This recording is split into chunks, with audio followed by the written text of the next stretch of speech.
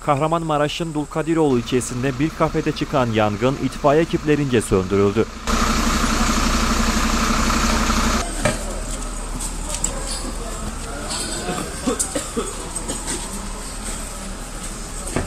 Yenişehir Mahallesi 18. sokakta bulunan kafede henüz bilinmeyen bir nedenle yangın çıktı.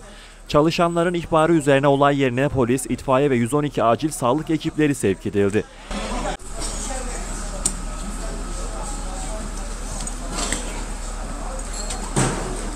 Ekiplerin kısa sürede söndürdüğü yangında dumandan etkilenen bir kişiye ambulansla müdahalede bulundu. Ekipleri gereken yaptırımlar verdiler.